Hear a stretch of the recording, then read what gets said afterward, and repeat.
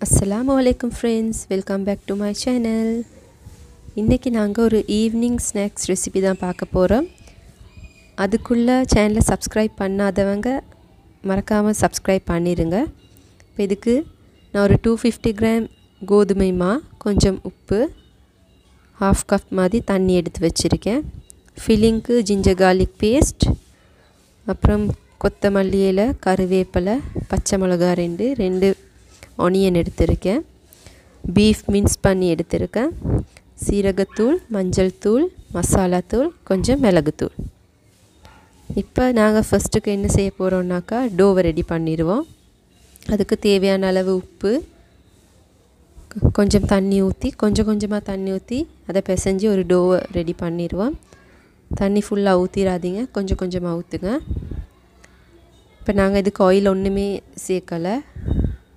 உப்பும் தண்ணியும் சேர்த்து இந்த மாவை பிசைஞ்சிட்டோம்.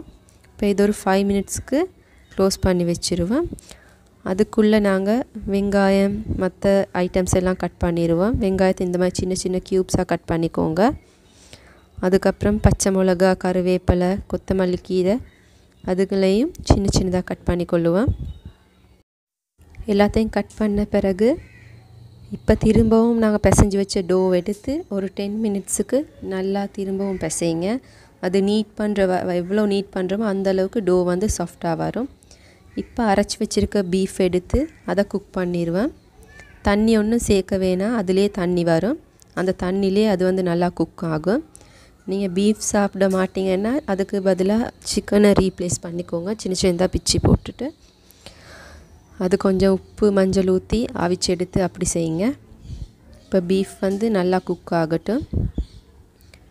இந்த தண்ணி எல்லாம் வற்றணும் தண்ணி வற்றினதுக்கு பிறகு நாங்கள் கட் பண்ணி வச்சுருக்க வெங்காயம் பச்சை மிளகா கருவேப்பிலை கொத்தமல்லி கீரை ஜிஞ்சர் கார்லிக் பேஸ்ட் எல்லாத்தையும் அதில் சேர்த்துட்டு மற்ற ஸ்பைசஸையும் போட்டு கொஞ்சம் தேவையான அளவு உப்பு சேர்த்துக்கோங்க.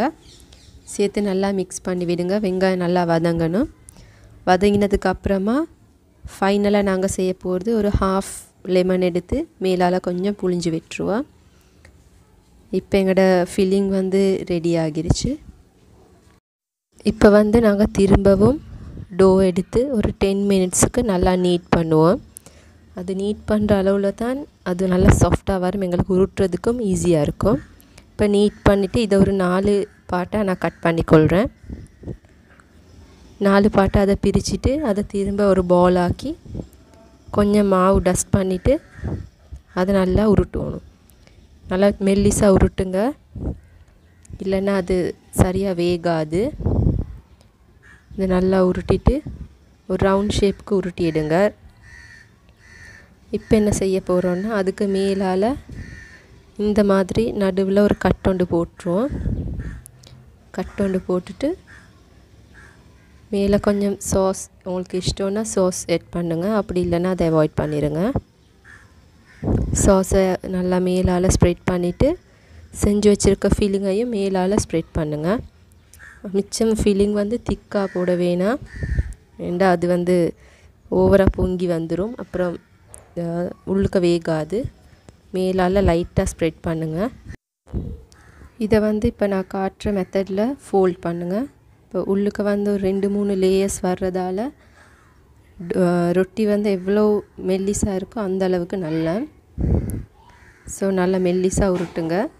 அப்படி உங்களுக்கு கொஞ்சம் மெல்லிஸாக வரல கொஞ்சம் திக்காக இருக்க மாதிரி நீங்கள் ஃபீல் பண்ணினீங்கன்னாக்கா மேலால் கொஞ்சம் ஒரு ரோலிங் பின்னை வச்சு மேலே லைட்டாக ரெண்டு மூணு முறை உருட்டுங்க. இப்போ திரும்ப மற்றதுங்களையும் அதே மாதிரி எல்லாத்தையும் செஞ்சிடுவேன் அதெல்லாம் செஞ்சுட்டு திரும்ப கொஞ்சம் கையால் மேலே கொஞ்சம் நல்லா ப்ரெஸ் பண்ணுங்க ஊண்டி. இப்போ இதில் எனக்கு நாலு நான் செஞ்சிட்டேன். நான் நைஃபை வச்சு ஓரத்தை கொஞ்சம் டிசைன் ஒன்று போட்டுட்டேன். இப்போ நெக்ஸ்ட் நாங்கள் லைட்டாக ஆயில் ஊற்றிட்டு இதை வந்து இப்போ ஃப்ரை பண்ண போகிறோம் ஃபஸ்ட்டுக்கு அடுப்பு நல்லா குறைச்சி வைங்க. இது ஆயிலில் போட்டதுக்கப்புறம் இல்லைன்னா டக்குன்னு வெளியால் கருகிரும் உள்ளுக்க வெந்திருக்காது. அதை வந்து போட்டுட்டு மேலே கொஞ்சம் ஒரு மூடியால் க்ளோஸ் பண்ணி வைங்க. அப்போ தான் உள்ளுக்கெல்லாம் நல்லா வேகும். நல்லா வெந்ததுக்கப்புறம் எல்லா பக்கமத்தையும் நல்லா சுடணும். சுட்டு எல்லாத்தையும் இறக்கிடுங்க. இப்போ ரெடி ஆயிடுச்சு ஈவினிங் நல்லா டீ டீயோடு சாப்பிட நல்லா ஸ்பைஸியாக நல்லாயிருக்கும் கண்டிப்பாக வீட்டில் ட்ரை பண்ணி பாருங்கள் சாப்பிட்டு எப்படி இருக்குன்னு கமெண்ட் பண்ணுங்கள் சேனலை மறக்காமல் சப்ஸ்கிரைப் பண்ணுங்கள் தேங்க்யூ